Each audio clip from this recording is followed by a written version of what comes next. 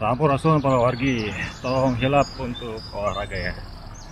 Cuacanya bagus, sudah terang ya.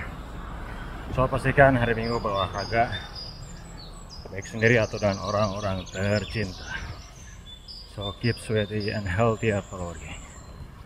Huh. Nice weather, sunset to work